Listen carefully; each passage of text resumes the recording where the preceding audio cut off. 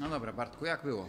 No słuchaj, muszę powiedzieć, że naprawdę od godziny tutaj solidnie pracujemy nad tą techniką i jest diametralna różnica.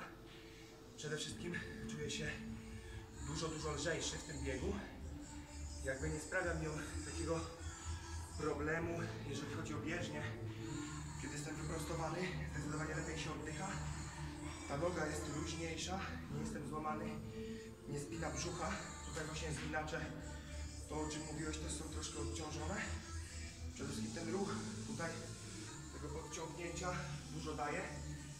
I bardzo dobrze to widać, kiedy trenowaliśmy tutaj na płaskim. Wtedy już w ogóle czuję się, jakbym ważył o połowę mniej.